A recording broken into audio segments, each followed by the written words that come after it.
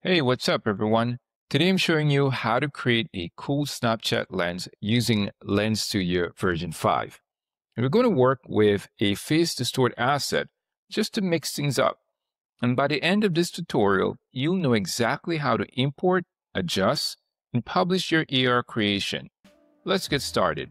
Head over to ar.snap.com and click on download and go ahead and also click on I've read the privacy policy and then choose your operating system and click on that download. When you open the app, you'll see the home screen with your recent projects and sample options. But for our demo, we're going to start with a fresh project. So go ahead and click on default and this gives you a clean slate to build our awesome face distortion effect. Now let's break down the interface. The scene panel is your creative workspace in Lens Studio.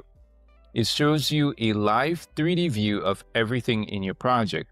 What is just a face distorted image or lots of different assets?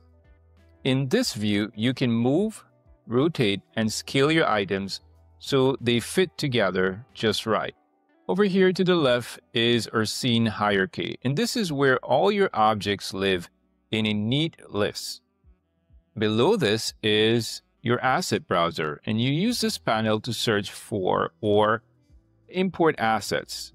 And then over this side on the right is your inspector. Here you can tweak the properties of any selected object like position, rotation, or scale. And then further right, we have our preview panel. And this shows how your lens will look in real time. It's especially useful for testing face tracking and effects. Next, let's add our star asset. We're using a face distort effect. So click on Asset Library and search for Face Distort. All right, so you can go to the 3D section and search for it or you can just type in in the search bar face distort. All right, so when you find the asset that grabs your attention, then all you have to do is hit import. All right, once the import is done, the asset will appear in your asset browser in a folder that contains both the model and its associated materials. All right, so we're going to select face distort and we're going to drag it all the way up and we're going to right on top of the camera object, we're going to drop it right there.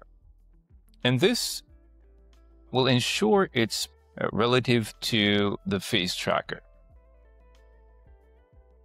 All right, so over here in our preview panel, we can see our face distorted effect. And over here in our scene panel, we can see a live 3D view of our face distort asset. Nice.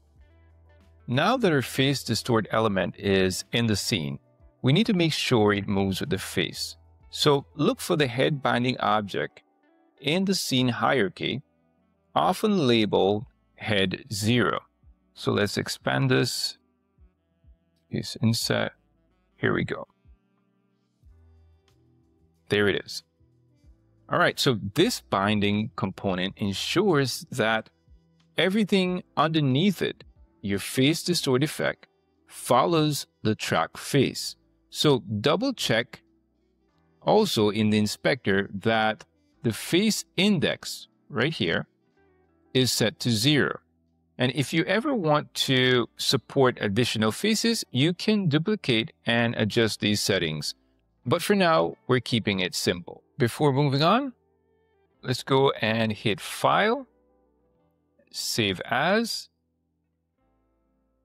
and we're going to save this as, let's see, Face Snap. All right, just to make sure that our progress is safe. Now let's jump over to the preview panel. And here you can see your face distort effect in action. And to really test it out, you can use the option to peer a new Snapchat account, and this will generate a snap code you can scan with your phone. And testing helps you fine tune positioning, scale, and other settings in real time. All right, so just go ahead and test it out, play with it a little bit, and have some fun. And once your face distort effect looks just right, it's time to get your lens out there. Open the project settings.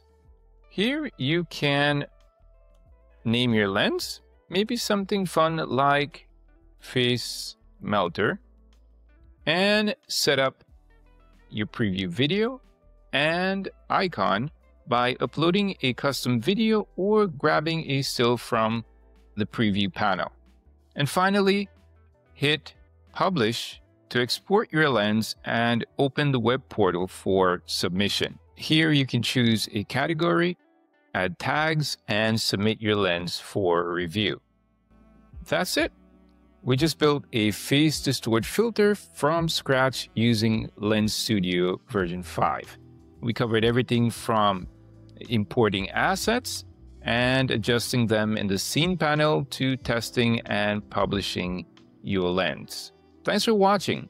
If you enjoyed this tutorial, hit that like button, drop a comment, and subscribe for more awesome tech content. As always, have an epic day.